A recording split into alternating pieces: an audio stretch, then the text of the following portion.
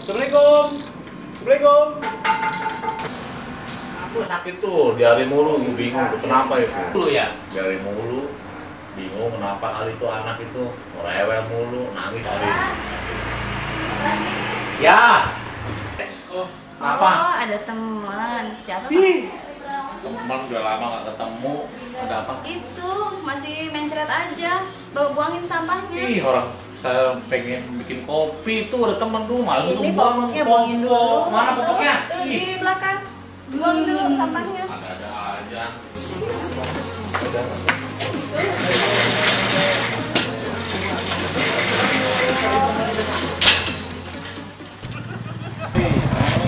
Salam. Mau ke mana ini Pak? Mau ke kali Pak, buang sampah. Ke kali buang sampah. Iya, Kok ke kali Pak? baru udah biasa saya ada popok segala. Anak Popok? saya lagi sakit juga sih. Popok? Udah- Iya, popok. Popok apa? Popok bayi. Oh, popok Nah, bayi. saya diari terus. Hmm. Makanya biar praktis lah saya buang ke kali. Eh, tunggu dulu, tunggu Hah? dulu. Jangan, jangan dibuang ke kali. Gitu, Pak. Ke Yang lain dulu. ya. banyak kok yang buang ke kali. Ya, udah jangan. Ayo, ke rumah dulu. Oh, ya Pak, silakan masuk, Pak. Iya Pak, makasih. Assalamualaikum. Salam. Pak, emang kenapa saya nggak boleh buang sampah ke sana sama popok? Kan saya udah tiap hari udah biasa di situ. Masyarakat juga banyak buang ke situ kok. Hmm. Ini Pak, biar enak saya jelasinnya enak berdua. Ada nggak istrinya Pak? Ada. Ya, Sebentar ya. Bune, Bune, Ya, nih ada tamu nih. Ah, iya. Mari tuh. Ini tadi saya buang popok sama sampah di luar tadi muka kali, ketemu bapak ini.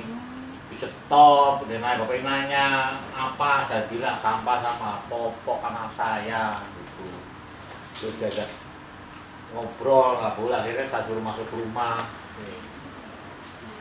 Nah, ini Bu, perkenalkan saya sanitarian puskesmas. Nih, saya tadi ketemu bapaknya di luar. Katanya mau buang sampah popok di sungai. Saya kaget, duh kenapa kok buang sampah popok di sungai? Nah, saya terangkan alasannya. Yang pertama, satu, sampah popok bayi itu katanya anaknya diare juga ya Pak ya? Iya. Nah, Iya. itu mengandung bakteri. Jadi kalau sebelum dibuang harus dibersihkan dahulu. Kenapa? Karena akan mencemari sungai. Tapi kan yang lain boleh pak, biasa aja buang-buang begitu aja. Saya juga jadi ibu tinggal kude ya. Iya. Oh, jangan. Itu perbuatan yang salah, Pak. Sebaiknya popok bayi yang ada kotorannya sebaiknya adalah satu, buang kotoran ke dalam WC. Kedua, cucilah popok menggunakan air mengalir.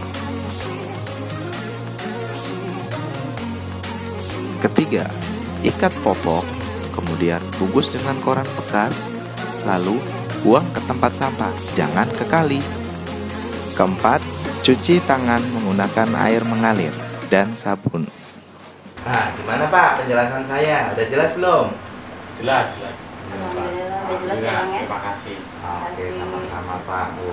Jadi mulai hari ini abang udah dikasih tahu cara-caranya harus diikutin syarat-syaratnya seperti itu, ya kan? Iya, iya. Betul ya bang ya? Betul ya, iya. Popokmu, tanggung jawabmu. Tangerang,